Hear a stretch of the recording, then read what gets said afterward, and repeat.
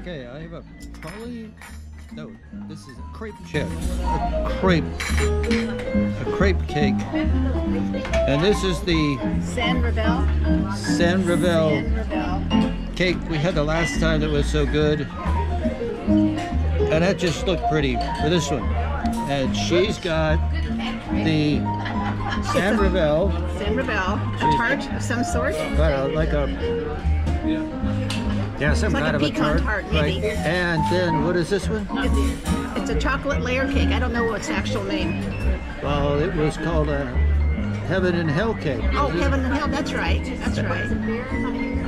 So part of, one of it, it was named after me, and then it was named after you. Yes, all right.